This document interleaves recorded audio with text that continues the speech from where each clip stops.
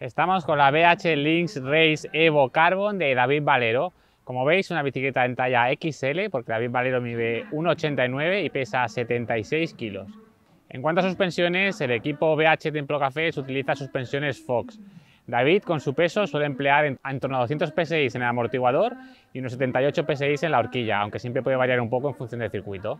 Para las ruedas, el equipo utiliza la marca francesa Duke. En cuanto a anchos de llantas, Duke utiliza 28 milímetros de ancho interno en la rueda delantera y 25,6 milímetros de ancho interno en la rueda trasera. Eso hace también que elijan diferentes balones en la rueda delantera y la trasera. Nos han comentado que están probando balones de 2-3 eh, de Chaoyang en la rueda delantera para sacarle partido a ese mayor ancho de llanta que tienen delante y neumáticos de 2-2 en la parte trasera, más adecuados a esos 25,6 milímetros de la rueda trasera. En cuanto a neumáticos, en este caso la doble de Valero va montada con el Chaoyang Phantom Dry delante y el Chaoyang Phantom Speed detrás. Aunque habitualmente en competición, sobre todo en cross country, Valero el que más emplea es el Chaoyang Phantom Speed, que es muy rápido y tiene buena capacidad para rodar y un agarre que pueden controlar bastante en carrera. Para los frenos no hay sorpresa, montan discos de 160 delante y detrás, y eso que Valero es un corredor de los más grandes de la parrilla. Montan frenos Shimano XTR con discos Galfer y pastillas también de la propia Galfer. En la parte delantera nos encontramos la potencia de la propia BH, adecuada para su nuevo sistema de entrada de cables por la dirección, en una longitud de 80 milímetros y el manillar en una posición que es con las puntas mirando hacia abajo para ganar unos 8 milímetros negativos y compensar un poco la altura adicional que supone el sistema de cableado interno. El manillar es de carbono de la propia BH y está cortado a 720 milímetros. Un rasgo muy llamativo es el mando remoto de la tija telescópica by Yoke Divine SL, que está situado en posición justo por detrás del mando de bloqueo de las suspensiones. Visualmente parece que vayan a chocar, pero realmente en marcha es una posición muy cómoda, puesto que la maneta está en una posición diferente que podemos alcanzar con el propio dedo pulgar. Además, utilizan un nuevo mando de bike yoke que va anclado a la propia maneta de freno a través del sistema e-spec de Shimano. Este nuevo mando de Bike Yoke incorpora también un rodamiento que hace que su girar sea aún más fino.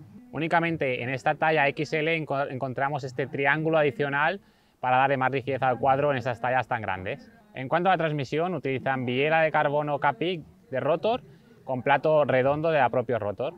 Valero es de los corredores que más utiliza el plato de 38, que normalmente es su plato habitual, aunque en esta bici ha montado un 36.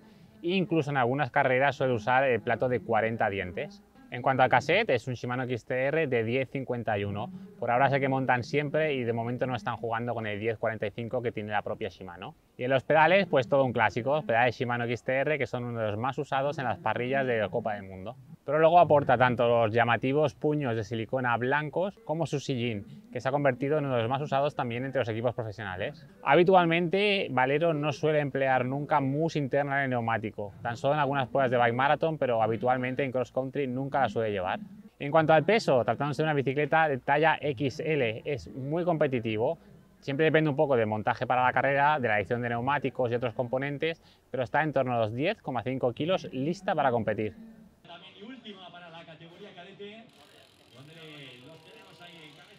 No, realmente no. La verdad es que es, bastante fácil de llevar, suele tener muy claro antes de salir a los circuitos, también los conoce mucho, ¿no?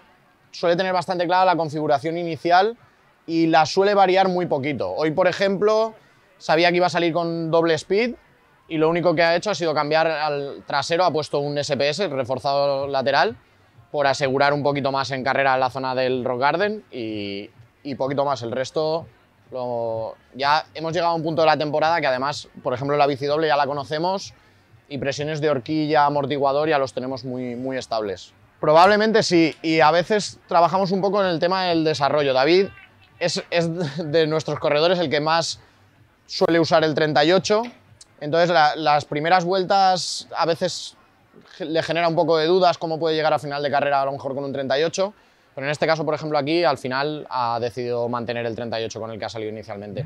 Sí, desde luego, por ejemplo, ahora mismo estamos desarrollando los neumáticos 2.3 de Chaoyan y está deseoso de probar el nuevo Speed en 2.3 porque bueno, le gusta muchísimo el neumático Speed y cree que un 2.3 en delantero puede funcionar muy muy bien y en ese sentido sí, él es, es muy curioso con la, con la, o sea, con la tecnología Con la bici nueva, por ejemplo, me ha preguntado mucho sobre cómo, es el funcionamiento de, todo, el, linkage y, demás, así que sí, es muy fácil de trabajar.